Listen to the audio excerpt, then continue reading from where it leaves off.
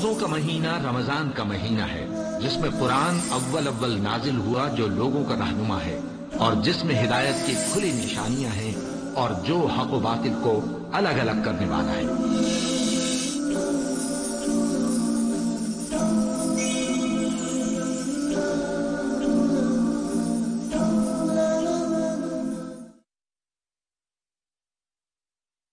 अल्हम्दुलिल्लाह कफ़ा वसलामबादीन अस्तफ़ा अम्माबाद मोहतरम नाजरीन, फ़ज़ाइल रमज़ान की इस नशस्त में आप हजरात का इस्तकबाल है। असलकम वरहमल वबरक आज की नशस्त का मौजू है रोज़ा इस्लाम का एक अहम रुकन।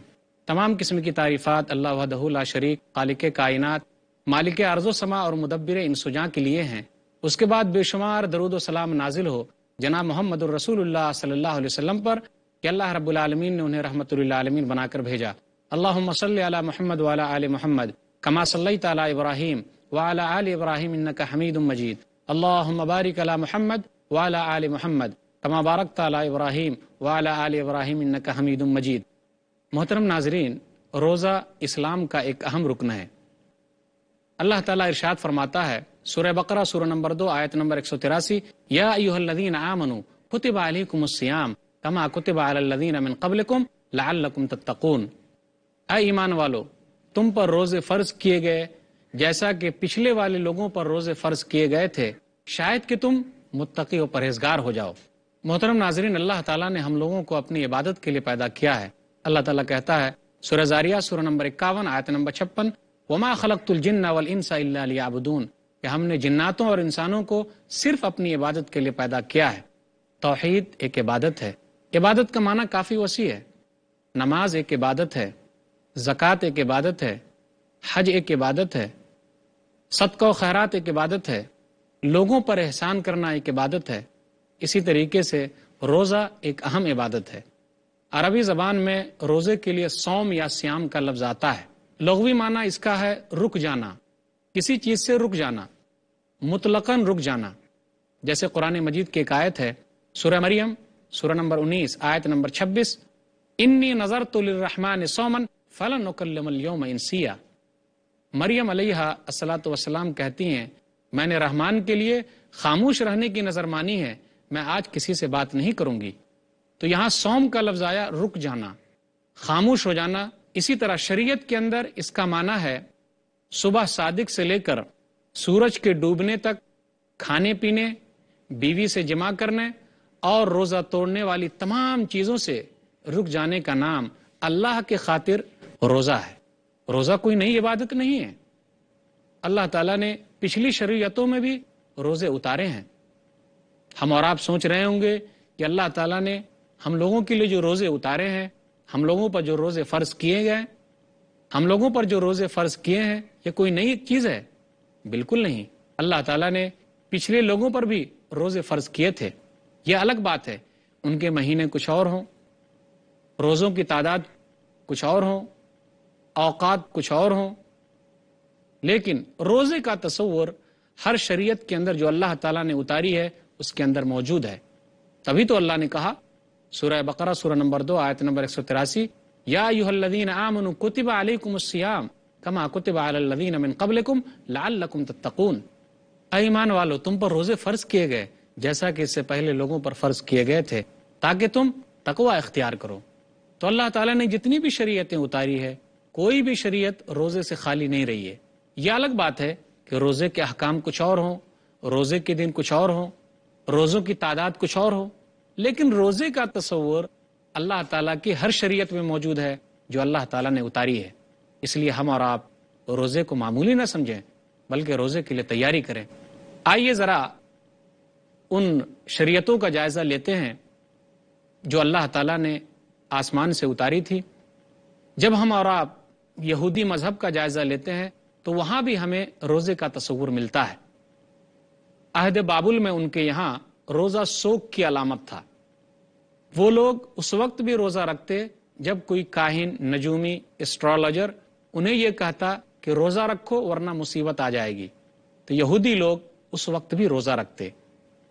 ये लोग उस वक्त भी रोजा रखते जब इनको पता चलता कि अल्लाह ताला हमसे नाराज़ हो गया है।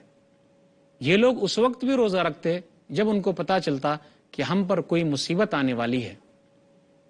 यहूदी लोग उस वक्त भी रोजा रखते, जब उनको पता चलता कि बादशाह कहीं गया है, बादशाह कहीं जाने वाला है तो उसके एहतमाम में भी लोग रोजा रखते थे।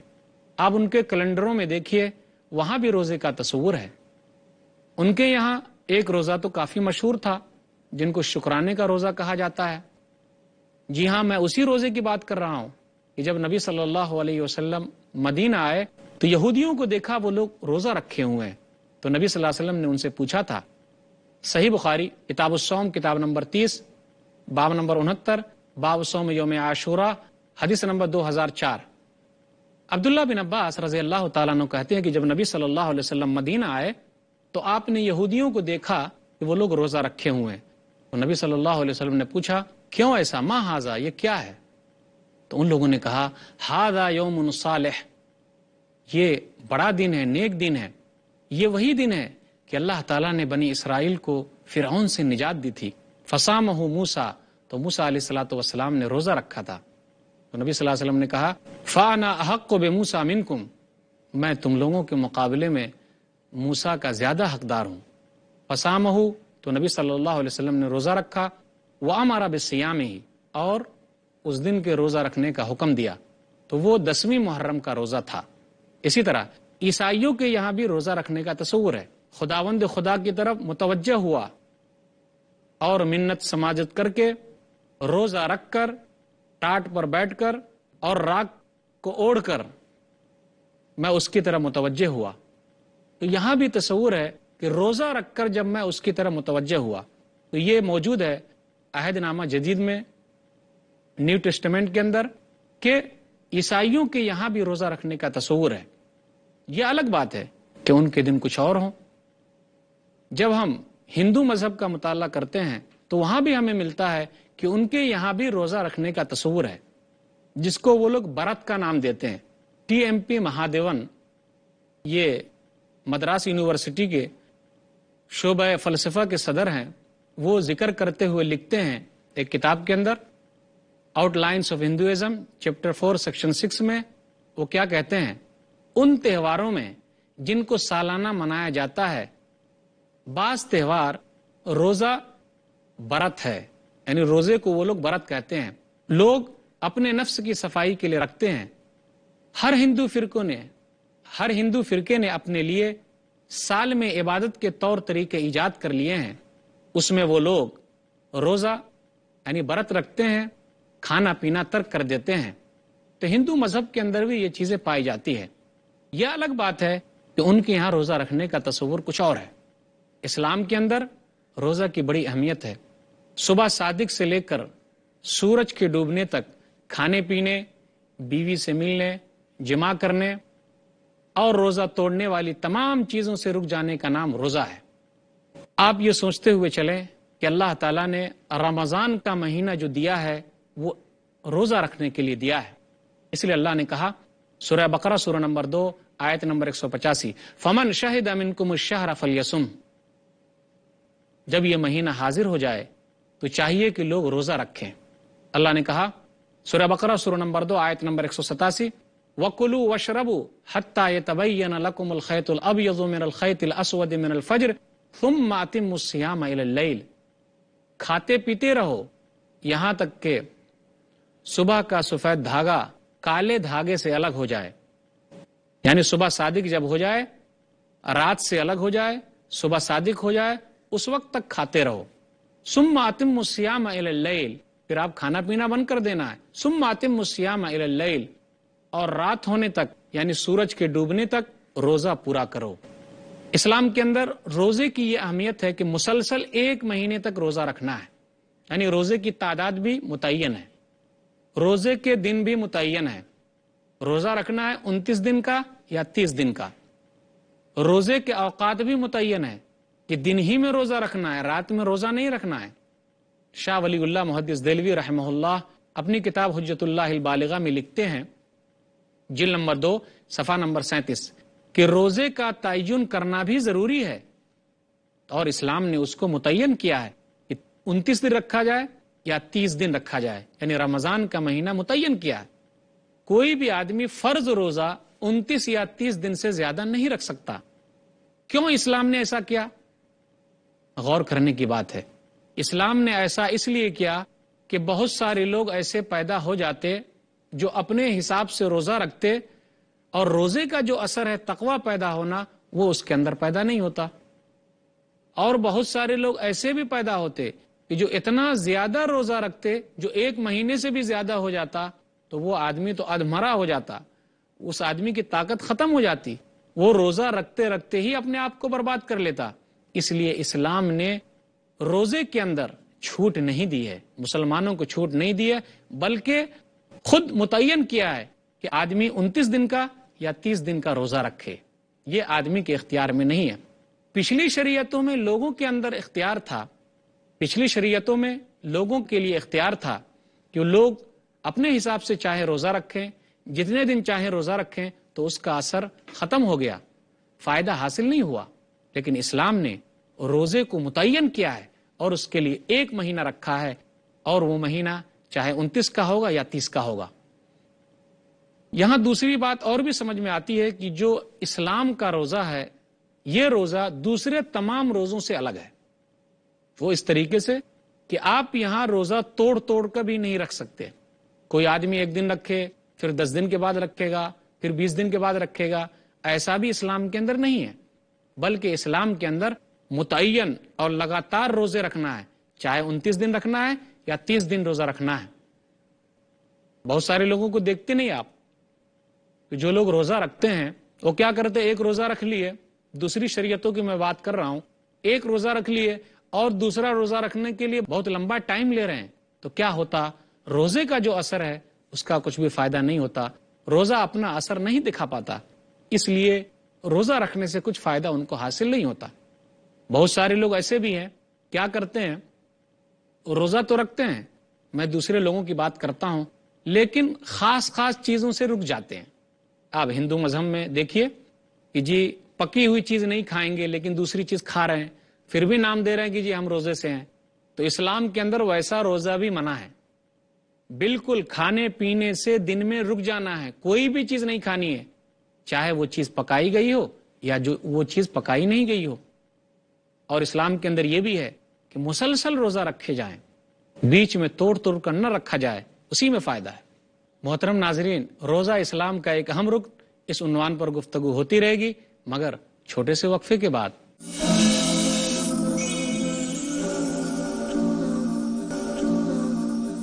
मोहतरम नाजरीन, अस्सलाम वालेकुम वरहमतुल्लाहि दोबारा आपका इस्तकबाल है प्रोग्राम फ़जाइल रमज़ान में।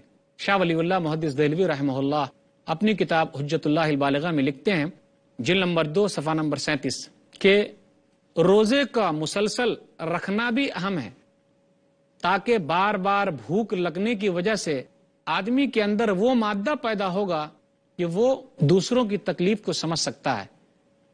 वरना एक दिन ज़्यादा देर तक भूखे रहना और सख्त तकलीफ़ बर्दाश्त कर लेना रोज़े का जो मकसद है, उससे हासिल नहीं होता। इसलिए इस्लाम चाहता है कि बार बार भूखा रखने के आदमी को प्रैक्टिस कराया जाए, मुसलसल, रिहर्सल कराया जाए, ताकि वो एक महीने की जो ट्रेनिंग हासिल करें, वो ट्रेनिंग हासिल करने के बाद वो अपने अंदर महसूस करें और लोगों की भी तकलीफ़ महसूस करें। इसलिए आप गौर कीजिए कि रोजा हम लोगों के अंदर बहुत सारे माद्य पैदा करता है। सब्र का मादा पैदा करता है। देखते नहीं हम और आप कि सामने खाना पीना मौजूद है। सामने बीवी मौजूद है, लेकिन आप दिन में अपनी बीवी से जमा नहीं कर सकते। आप खाना पीना नहीं खा सकते। तो इससे ज़्यादा अपने नफ्स पर कंट्रोल कौन सी चीज़ से हासिल होगी? बिल्कुल हासिल नहीं हो सकती। रोजा रखते हुए हम खाना पीना नहीं खाते हैं। तो ये इस बात का पैगाम जा रहा है कि बहुत सारे लोग दुनिया के अंदर भूखे हैं, प्यासे हैं, जिनकी तकलीफ़ हमें समझनी है। हमें अपने दिल में महसूस करना है कि अगर आप आज हम दिन में रोजा रखे हुए हैं तो हमें कितनी तकलीफ़ होती है। दुनिया के अंदर बहुत सारे लोग हैं जो कई कई दिनों से भूखे हैं। आखिर उनको कौन खिलाएगा, कौन पिलाएगा? तो रोजा इसलिए भी है। तो हमारे और आपके लिए ज़रूरी है कि सोचें और गौर करें, इस्लाम के अंदर रोजा किस काम के लिए आया है। इसलिए अल्लाह ताला ने रमज़ान का जो रोजा फ़र्ज़ किया, कब फ़र्ज़ किया है? सन दो हिजरी में फ़र्ज़ किया है। मदीना के अंदर फ़र्ज़ किया है, मक्का में फ़र्ज़ नहीं किया। जब लोगों के हालात अच्छे हो गए तो अल्लाह ताला ने फ़र्ज़ किया, ताकि लोग ये ना कह सकें कि ये मजबूरी का रोज़ा है। हम लोग परेशानी की हालत में थे तो अल्लाह ताला ने फ़र्ज़ किया, उसका रोज़ा नहीं। जब लोगों के हालात अच्छे हो गए, इस्लाम के अंदर रोज़े की बहुत बड़ी फजीलत है। अब मैं चंद फजीलतें रोज़े के ताल्लुक से बयान कर रहा हूँ। रोज़ा इस्लाम का एक अहम रुकन है, और बुनियादी रुकनों में से है। नबी सल्लल्लाहु अलैहि वसल्लम ने शाद फरमाया, सही बुखारी किताबुल ईमान, किताब नंबर दो, बाब नंबर दो, हदीस नंबर आठ। बुनी इस्लाम वाला खमसिन। शहादत अल्लाह वान मोहम्मद रसोल्ला वक़ाम सलाह वईता ज़का वलहज वसौम रमज़ान। कि इस्लाम की बुनियाद पाँच चीज़ों पर है। ला इला अल्लाह के सिवा कोई अल्लाह नहीं। और मोहम्मद वसल्लम अल्लाह के रसूल हैं। ये गवाही देना, नमाज़ कायम करना, जक़ात अदा करना, हज के लिए दाना और रमज़ान के रोज़े रखना। यहाँ तरतीब में रमज़ान के रोज़े नीचे आ गए हैं तो उसमें कोई हरज की बात नहीं। ये इस्लाम का तीसरा अहम रुकन है। रोज़े की अहमियत तो यह है कि ये एक पोशीदा इबादत है। आप गौर कीजिए, सुबह के वक्त अगर हम और आप शहरी खाते हैं शहरी खाने के बाद हमें कोई नहीं देखता। दिन में अगर हमें भूख लग जाए, हमें प्यास लग जाए तो हम चुपके से अपने घर के कोने में जा सकते हैं। खाना खा सकते हैं, पानी पी सकते हैं, लेकिन सिर्फ़ और सिर्फ़ अल्लाह के खातिर हम और आप ऐसा नहीं करते।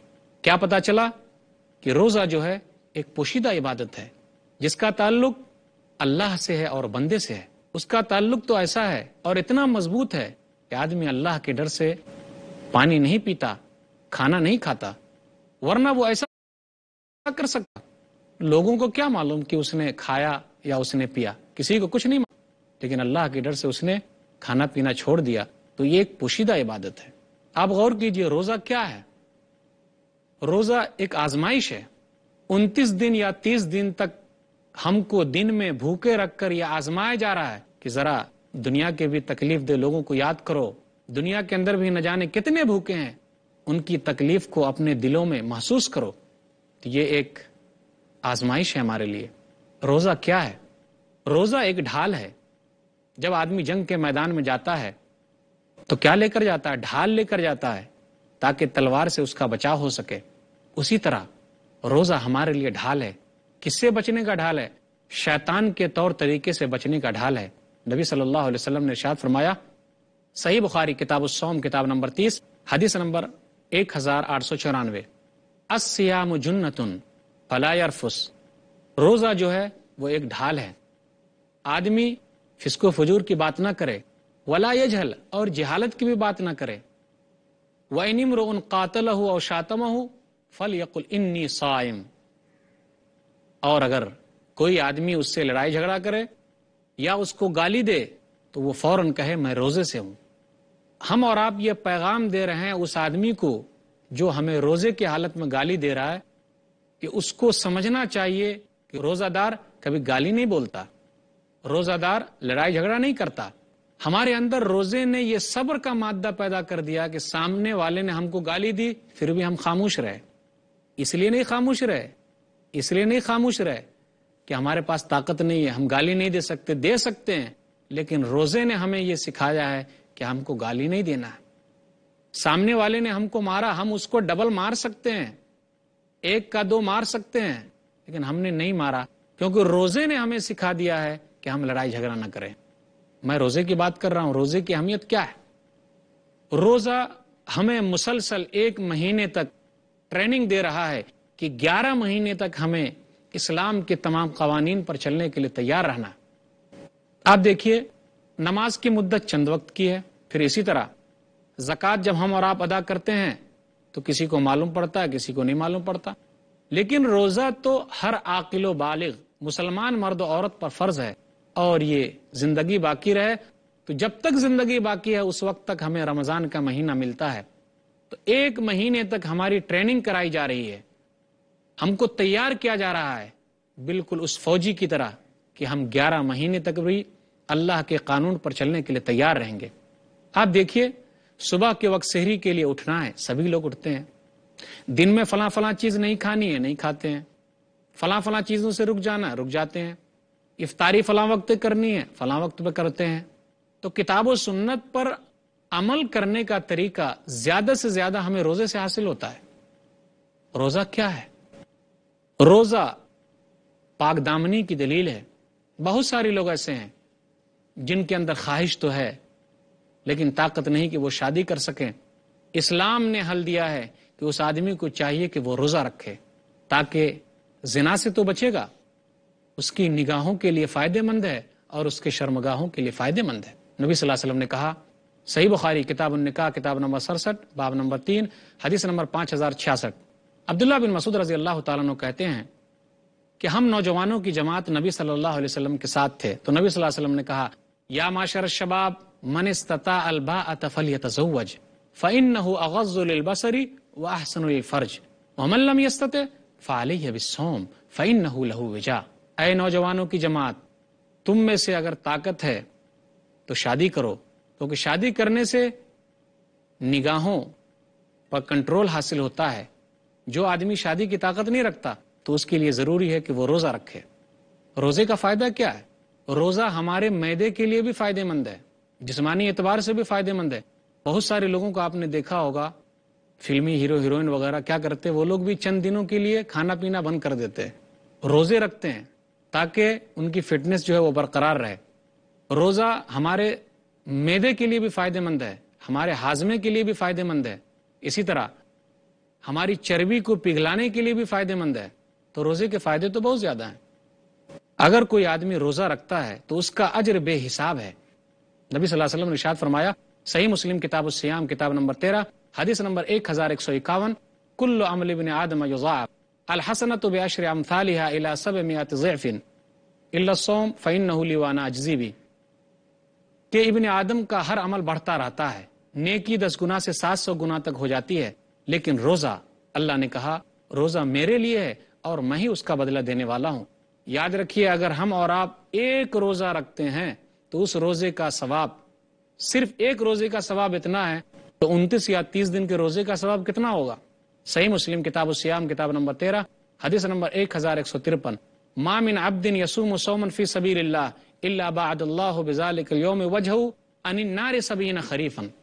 अगर कोई बंदा एक दिन रोजा रखे अल्लाह के लिए तो अल्लाह ताला उसके चेहरे को जहन्नम से सत्तर साल तक दूर कर देता है। रोज़े का फ़ायदा कितना है? अरे, मरने के बाद भी फ़ायदा होगा, कब्र में आपके लिए फ़ायदेमंद है।